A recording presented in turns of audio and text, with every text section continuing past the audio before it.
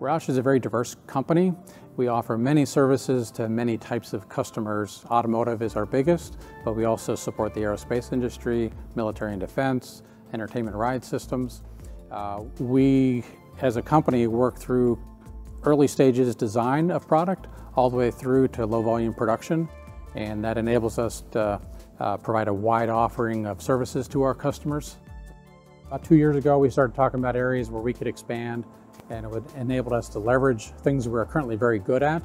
And durability was one of those things. What you see behind me is the Roush Advanced Durability Lab. This is a closed-loop servo-hydraulic lab used for durability testing. Uh, the key element in it is the spindle-coupled road simulator, which we use to simulate loads from the proving ground. This testing technology can also be applied on subsystem or component level using single axis actuators, which we also have in our component area. One of the critical advantages of this lab is we are able to test a full vehicle much earlier in the development cycle when perhaps you may not have a full vehicle ready that can drive on the proving ground or an operable vehicle. We can put durability loads and simulate those loads in the lab before you can go to the proving ground. Roush started using SimCenter solutions uh, 30 years ago uh, to support our noise and vibration activity. And that's grown tremendously over the years, uh, expanding more into that, but also now uh, into Amesim and NX Nastran, and we use those tools and integrate those uh, together to help our develop our solutions for our customers. In the durability lab, we use the SimCenter Test Lab Neo for software, and I use SimCenter SCADAS Mobile for hardware. One of the really nice things about the SimCenter solutions that we use is the ability to move from the proving ground to the lab pretty seamlessly.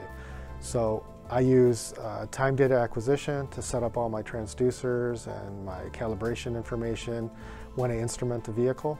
Then when I take that mobile SCADAS unit out to the proving grounds, I'm using that same software. So all my settings are saved, all my calibration info is there. And then again, once I collect that data, bring it back into the lab, plug it into the rig. It's plug and play, it's efficient, and everything is seamless. SimCenter Test Lab makes my life easier in multiple ways. The two best examples are data quality checks and processing data quickly. Because oftentimes we acquire hundreds of channels of data, and that can be hard as a tester because you have to make sure every single channel is accurate and correct. And SimCenter Test Lab, and especially SimCenter Test Lab Neo, allow me to do that very quickly. The second benefit that I see is processing data quickly. In SimCenter Test Lab, I'm able to abstract away the complexity of the processing and get right to what I call the money shot, which is the image or graph that allows me to prove or disprove my test hypothesis. One of the ways that I find it's really valuable is its ability to allow me to, to execute standard tests while also having the ability to tackle challenging new tests. Another benefit of SimCenter Test Lab is the ability to leverage it across multiple groups, whether it's leveraging the hardware and borrowing front ends from each other to get more channels, or leveraging knowledge, where maybe I have a question and I don't know the answer and I can leverage my durability partners to solve that problem, or vice versa. SimCenter has offered us the ability to integrate all of our tools together under one domain and easily pass data between the different solution sets and between the different uh, software packages.